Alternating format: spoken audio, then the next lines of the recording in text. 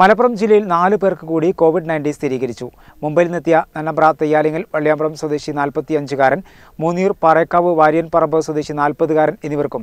മഹാരാഷ്ട്രയിലെ റായ്ഗഡിൽ നിന്നെത്തിയ ആദവനാട് കരിപ്പോൾ സ്വദേശി ഇരുപത്തിമൂന്നുകാരൻ ആന്ധ്രാപ്രദേശിലെ കർണൂളിൽ നിന്നെത്തിയ വള്ളിക്കുന്ന് ആലിഞ്ചുവട് കൊടക്കാട് സ്വദേശി മുപ്പത്തിയഞ്ചുകാരൻ എന്നിവർക്കുമാണ് വൈറസ് ബാധ സ്ഥിരീകരിച്ചതെന്ന് ജില്ലാ കളക്ടറുടെ ചുമതലയുള്ള A D M N Meher Ali അറിയിച്ചു. ഇവർ നാല് പേരും കോവിഡ് പ്രത്യേക ചികിത്സാ കേന്ദ്രമായ മഞ്ചേരി ഗവൺമെന്റ് മെഡിക്കൽ കോളേജ് ആശുപത്രിയിൽ ഐസൊലേഷനിലാണ്. നന്നബ്ര തെയ്യാലിങ്ങൽ വെള്ളിയാമ്പലം സ്വദേശിയും മൂന്നിയൂർ പാറേക്കാവ് വാര്യൻപറമ്പ് സ്വദേശിയും മുംബൈയിൽ നിന്ന് സർക്കാർ അനുമതിയോടെ രണ്ട് സ്വകാര്യ ബസ്സുകളിലായി യാത്ര തിരിച്ച് മെയ് പതിനാലിന് സ്വന്തം വീടുകളിലെത്തി ആരോഗ്യവകുപ്പിന്റെ നിർദ്ദേശപ്രകാരം പ്രത്യേക നിരീക്ഷണം ആരംഭിച്ചു. രോഗലക്ഷണങ്ങളെ തുടർന്ന് മെയ് പത്തൊമ്പതിന് ഇരുവരെയും നൂറ്റെട്ട് ആംബുലൻസുകളിൽ കൊണ്ടുവന്ന് മഞ്ചേരി ഗവൺമെന്റ് മെഡിക്കൽ കോളേജ് ആശുപത്രിയിൽ ഐസൊലേഷനിൽ പ്രവേശിപ്പിച്ചു. മഹാരാഷ്ട്രയിലെ റായ്ഗഡിൽ ജോലി ചെയ്യുന്ന ആദവനാട് കരിപ്പോൾ സ്വദേശി സർക്കാർ അനുമതിയുടെ ടാക്സി കാറിൽ മെയ് പതിനഞ്ചിന് നാട്ടിലേക്ക് പുറപ്പെട്ട മെയ് പതിനേഴ് മുതൽ വെട്ടിച്ചിറയിലെ കോവിഡ് കെയർ സെന്ററിൽ ആരോഗ്യവകുപ്പിന്റെ നിർദ്ദേശപ്രകാരം പ്രത്യേക നിരീക്ഷണത്തിലായിരുന്നു. രോഗലക്ഷണങ്ങൾ അനുഭവപ്പെട്ടതോടെ മെയ് ഇരുപത്തിയൊന്നിന് മഞ്ചേരി ഗവൺമെന്റ് മെഡിക്കൽ കോളേജ് ആശുപത്രി ഐസൊലേഷനിൽ പ്രവേശിപ്പിച്ചു.